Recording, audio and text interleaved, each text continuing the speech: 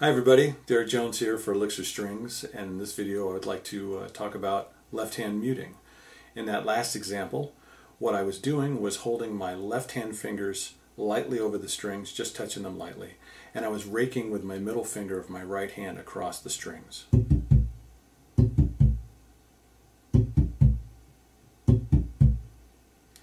And then I was adding a C note, which is the third fret of the A string, and I was pushing down the C note with my index finger on the third fret of the A string and plucking it with my first finger of my right hand, like this.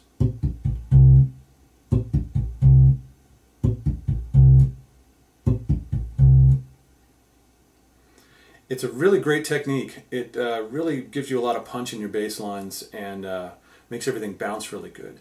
Um, so I suggest just first getting used to the raking and then adding the, the fundamental.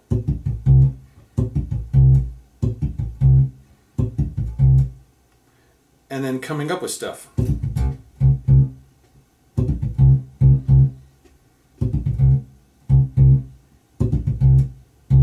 Just simple ideas that give you some chances to use raking and the more you use it, the more you'll come up with ideas and uh, you'll be able to incorporate it into your bass lines in all the music that you play.